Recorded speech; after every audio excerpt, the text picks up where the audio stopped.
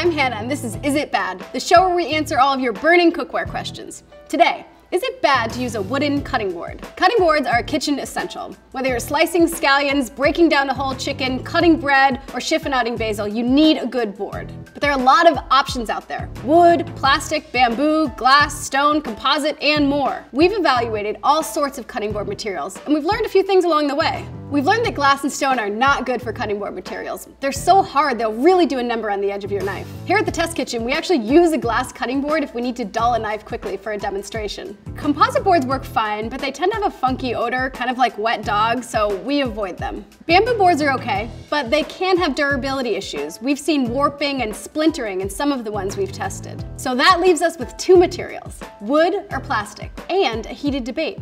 Which material is best? Something you'll often hear people say is that it's unsanitary to cut raw meat on a wooden cutting board. The theory is that because wood is grained and more porous than plastic, that germs can get down into the cracks and crevices, and wooden cutting boards typically can't go in the dishwasher. Some people take the extra step of spraying down their wooden cutting boards with a bleach solution. What's wrong with good old-fashioned hot soapy water? Is that not enough to kill dangerous germs? How much of a hazmat situation are we talking about here? We don't mess around with nasty things like salmonella, so we had to know if this was true. Especially because wooden cutting boards, like the test kitchen's favorite here from ProTeak, can be really beautiful and pleasant to work on. To get to the bottom of these questions, we sent a stack of cutting boards off to an independent laboratory to see if one of the materials harbored more or less bacteria after washing. We sent plastic, wood, composite, and bamboo boards. Bamboo actually has antibacterial properties, so we wondered if it would have an advantage here. But the lab found that material didn't matter at all. All four materials were equally capable of getting clean. And as for how to clean them,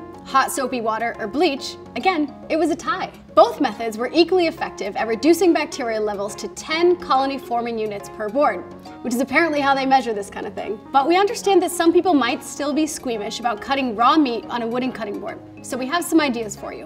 To be super safe, you can wash your board in hot soapy water like usual, and then spray it down with a bleach solution. One tablespoon of bleach to one gallon of water is best. If you don't want to deal with that, you might want to consider a flexible cutting mat. Our winner here from Dexas is light and super easy to use. You can just prep the raw meat portion of your meal on it and then throw it in the dishwasher when you're done. So, is it bad to use a wooden cutting board? The answer is no, it's not bad. As long as you use hot soapy water, a wooden cutting board will get just as clean as a plastic board. To keep them from cracking, splitting, or warping, it's best to oil them periodically, never put them in the dishwasher, and dry them right after washing. As for which material is best, it really comes down to personal preference. You might hear that plastic dulls knives faster, but the jury is still out on that.